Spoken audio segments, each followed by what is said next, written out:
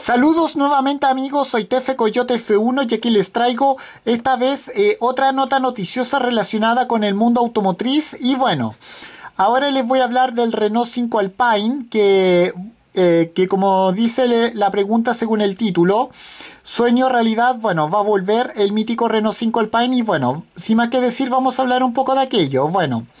Eh, como sabemos, la presentación del Renault 5 Prototype supuso todo un golpe de efecto por parte de la automotriz eh, francesa. Así, el mítico modelo R5 va a volver a la vida en forma de un automóvil 100% eléctrico con una estética inspirada en su modelo antecesor.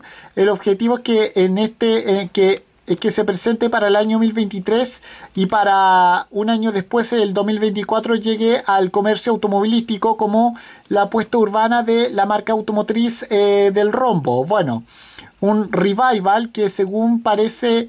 Eh, según como dice Luca De Meo, que es el máximo representante de la automotriz del rombo, tenía en mente desde su nombramiento. Bueno, a la par del modelo 5 Prototype, eh, han surgido propuestas más o menos atrevidas que hacen soñar con otras míticas versiones del R5, como por ejemplo el famoso Turbo o conocido como culo gordo o el, Renault 5 Alpine que se trae ahora. Estas apuestas están creadas por el conocido diseñador ex Tommy Design. Bueno, se trata de una posibilidad bastante remota, pero por soñar que no queda, eh, que no quedaría, eh, como no podía ser de otro modo, el acabado de la carrocería en color azul eh, ya, ya recuerda este legendario automóvil. también posee unas líneas en color blanco que marcan un contraste y una parte frontal con grandes aperturas en, los, en las laterales.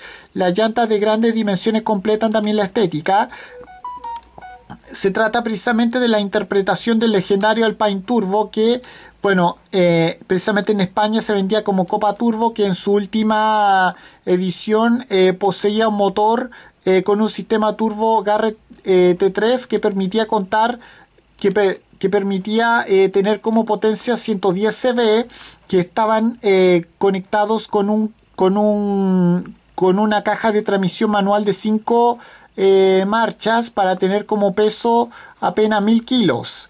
Bueno, diseñado como un, un, vehículo ecológico, desde el principio no está prevista ninguna eh, ninguna variante eh, como, con propulsor de combustión interna para el nuevo R5 y así lo confirmó su diseñador en plena presentación que dice así.